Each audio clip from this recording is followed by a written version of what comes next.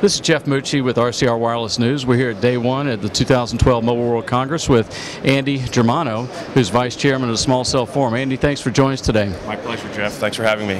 Um, what's new for this year for the Small Cell Forum? Well, there's a lot of uh, new items here. Uh, we just uh, changed the name, so we were previously known as the Femto Forum, so now we've expanded the scope and have become the uh, Small Cell Forum.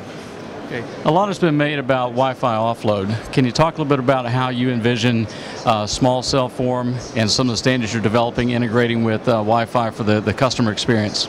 Sure, Jeff. Uh, we've had a, a, significant amount of work over the past year on this uh, Wi-Fi topic, and we recently are publishing uh, this week, actually, a new white paper on integrated femto and Wi-Fi. So this allows you to use all the benefits of femto cells or small cells, the security aspects, uh, the management aspects, the uh, carrier uh, network manageability to actually control the the Wi-Fi using the femto.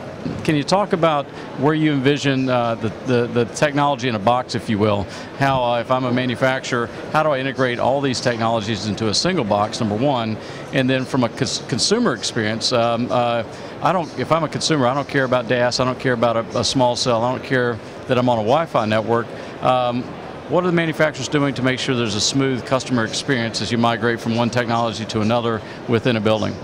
No, that's exactly right. The consumers, uh, they want the best experience, but they're not necessarily uh, wanting to have to sit there and reprogram their phone, you know, based on um, how much traffic is in, you know, one area or how much interference there is on a Wi-Fi, you know, network when there's 10 Wi-Fis versus, you know, uh, uh, one. So uh, the idea with the integrated femto Wi-Fi and some of the work we're doing in the forum is that um, it's a more intelligent network. So the decisions are made by the network at the edge of the network, and then um, for video streaming, you know, it may make sense to go over the uh, 4G uh, network. For some uh, basic web surfing, it might make sense to go over the Wi-Fi that's already there. So um, the network can become much more intelligent, and the consumer doesn't have to worry about logging in and SSID. It has all the security in terms of um, uh, you know, knowing who you are from your mobile phone as opposed to having to sit there and type in an SSID and, you know, some big long WPA password. It just happens uh, over the existing uh, 3G or 4G network.